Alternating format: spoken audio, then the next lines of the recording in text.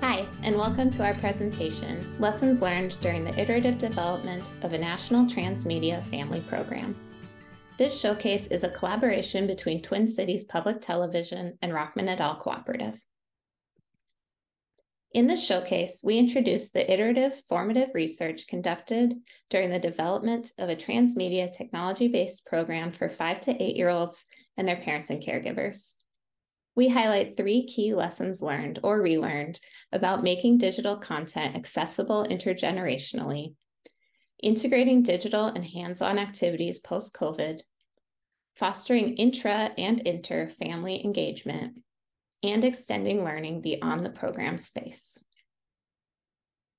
First, we'd like to share a little background about our project to give you some context for what we'll be talking about. Skillsville is a transmedia project funded through a Ready to Learn grant from the U.S. Department of Education. Skillsville includes three programs that each highlight three curricular pillars career exposure, executive function skills, and self regulation strategies. We teach executive function skills as the skills that we depend on every day to help us learn, work, and manage daily activities. In Skillsville, these are named with child friendly terms like focus, organize, or think differently.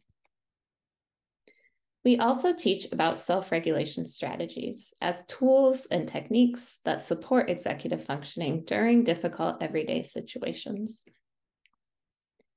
And finally, we introduce children to a wide variety of careers and how executive function skills are the foundation for success, no matter what they choose to do in life. Here, we will specifically be talking about the family program. The Skillsville Family Program is designed as a series of four sessions where caregivers and their five to eight year old children engage in hands on and digital activities together. Each week focuses on one executive function skill and includes a TV episode, a paper based game, a tablet based game, and self regulation strategies. So far, we've completed three rounds of research and evaluation for the family program, and we're currently wrapping up the fourth round. The first round of research was a national needs assessment, which we carried out in the summer and fall of 2021. The needs assessment was conducted with caregivers of five to eight year olds, and our purpose was to understand which executive function skills caregivers viewed as most important to their children's success, how they supported children's use of self regulation strategies, and how they approached career exposure with their young children. In total, 686 caregivers participated in an online survey. 30 spoke with us via individual interviews, and 27 joined us in focus groups. Next, we ran an alpha version of the program in the summer of 2022. One Southern community organization ran this one night event with seven families and one educator. Research included observations, activity feedback forms, and follow up interviews with both the educator and the families. From here, we revised the program's content and structure before running a beta version of the program in February of 2023. This time we expanded the program to two sessions. 21 families participated through a Midwestern community education site, and research included observations, caregiver and child focus groups, activity feedback forms, and interviews with 12 families, three facilitators, and the site coordinator. In the fourth round, which we're just wrapping up, three organizations across the country have implemented the program as a series of four weekly sessions. With this round, we're again conducting observations, collecting activity feedback forms, surveying the educators and caregivers at the end of the program, and speaking with educators and families via interviews. Through this formative work, we've identified several lessons about creating tech infused intergenerational learning programs, and we showcase three of those takeaways here. Our first lesson is make no assumptions about digital accessibility or interest particularly in a landscape shaped by COVID. The shift to online learning and increased digital content during the COVID lockdown certainly highlighted both the affordances and constraints of online spaces and forced a lot of people to increase their digital comfort quickly. With that, it's tempting to think flippantly with ideas like, oh, everyone knows how to use a QR code now. But it's neither true that everyone is suddenly comfortable with digital content, nor that they're interested in it after being fairly inundated with screens. In particular, the alpha implementation of the Skillsville Family Program emphasized the multiple challenges that can arise with technology based family programming. For example, during the alpha, it was difficult for caregivers to follow a multi step login process, which required them to scan a QR code with their phones, create a caregiver account, navigate to their email to retrieve a login code, return to the website to complete the login and generate an account for their children, and then scan a new QR code with a tablet for their children to finally access the program content. This multi step, multi device process was especially taxing with a slow internet connection and limited time for the program. All while caregivers tried to also attend to their young children who were growing restless while waiting. Although staff were present to assist with the process, there were not enough staff to go around. Therefore, a key takeaway was that we needed to simplify the login process to be more accessible. Especially important here is that our program is meant to be intergenerational, meaning that we want the program to be accessible to grandparents or older caregivers as well. If millennial caregivers were having difficulty accessing our content, we knew we had work to do. Based on this first lesson, we simplified the login process. We pre generated individualized QR codes for families, which logged families directly into the platform. And this allowed them to skip the process of creating accounts during the first session and get right to the content. Instead, at the end of the program, families now received printed instructions for creating accounts on their own time, if they'd like to continue to access the digital content after the program ends. We also revised these instructions based on points of confusion or suggestions that arose during separate formative testing. Here, we were able to streamline the login process so that accessing the content itself did not pose a barrier to intergenerational learning and engagement. For older caregivers, most children are now able to get onto the platform on their own because they have greater comfort scanning QR codes. Our second lesson is lean into content that lends itself to intergenerational, whole group, and interfamily engagement. Across each phase of our research development, caregivers have had clear preferences in content type.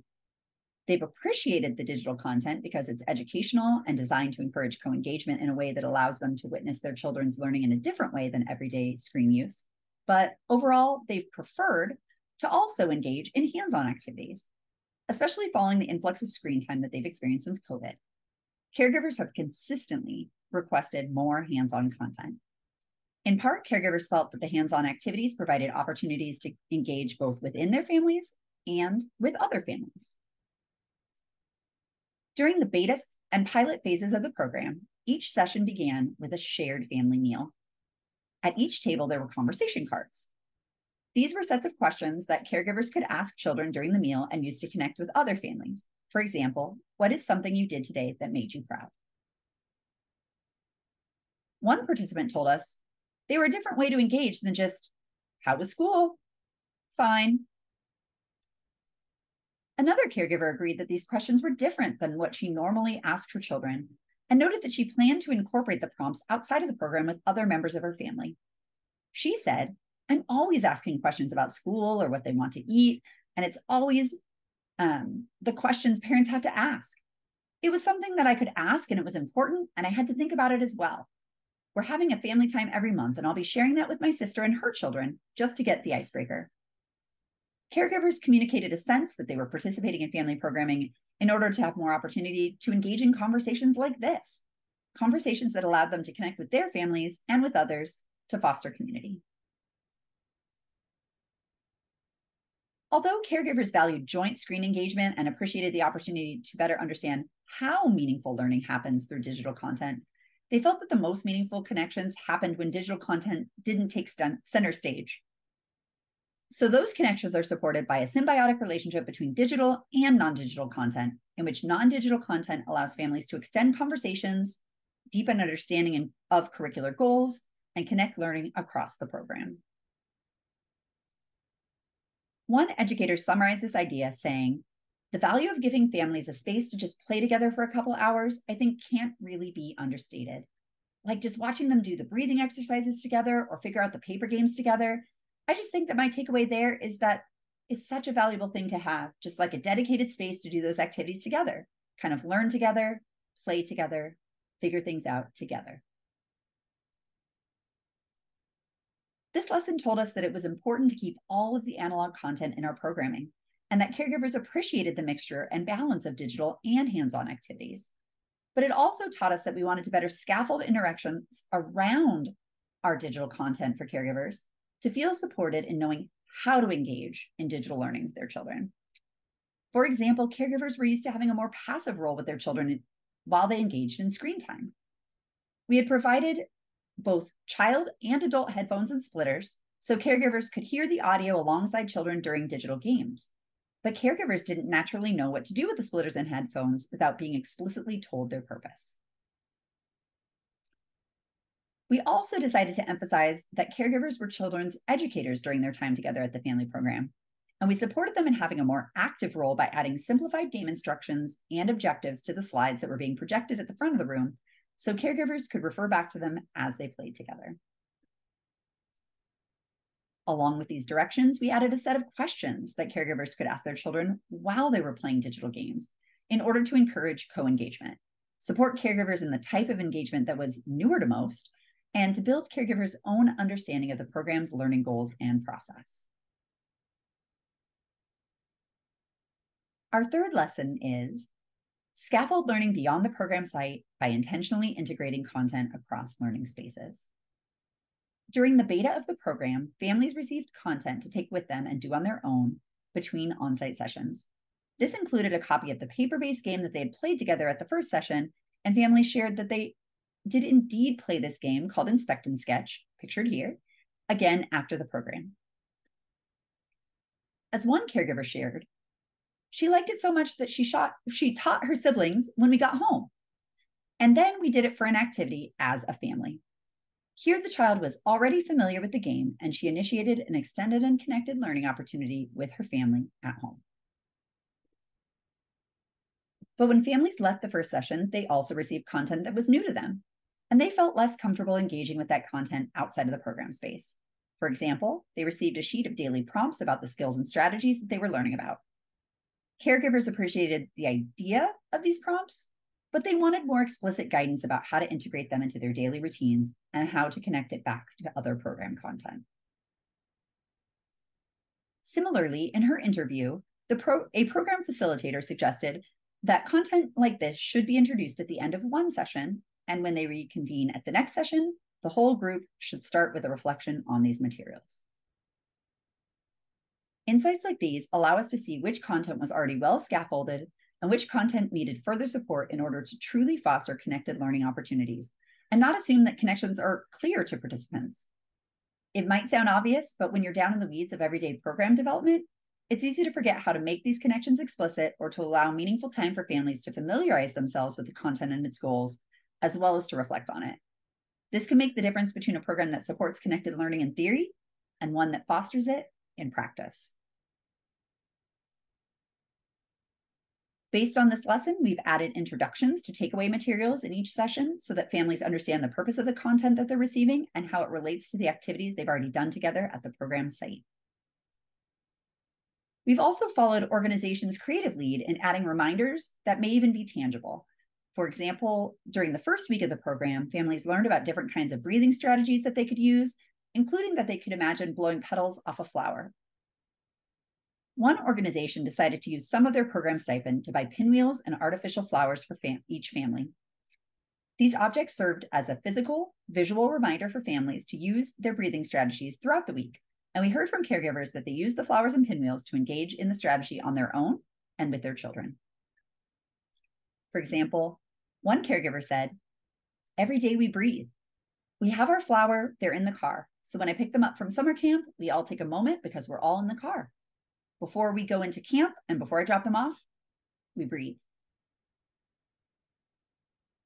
Another caregiver shared, I'm able to remember that the first thing to focus is inhaling and exhaling. And it was really good practice for me because I started doing it in my daily life and I was like, I got it. I got it from the facilitator, you know, blowing out, blowing and ex- inhaling on that flower, you know, and I even keep the flower on my counter. Families strategically place their flowers and pinwheels in common spaces in their daily lives as reminders to practice and apply the lessons from the program. These objects traveled with them from the program space to their other everyday spaces serving as a bridge between them and encouraging them to connect their learning and even extend it with other family members.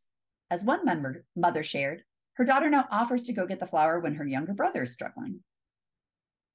Through our multi phase development process, we have gathered important lessons for creating meaningful digital based educational programming. These lessons are crucial to fostering learning environments that are intergenerational, not just in name, but also in practice. Importantly, executive function skills and self regulation strategies travel with children and their families as they navigate their communities at school, running errands, and on the playground. The iterative design process also challenges us as content creators and researchers to employ the very skills that we aim to teach. For example, we are held accountable to thinking flexibly about our approaches as we listen to families' experiences and adapt the program accordingly. As we continue to learn from families, we're currently implementing the four week version of our program with the remaining two organizations. What we find out in this phase will allow us to further adapt the family program to provide the kinds of tech infused learning opportunities that families and educators envision and find meaningful. As we do so, we take the words of one child participant as our motto. I learned I can do more things than my first idea that pops in my head. Thank you for listening, and we'd love to hear from you. Please reach out to me, Bryce Becker, at bbecker at tpt.org. Bye for now.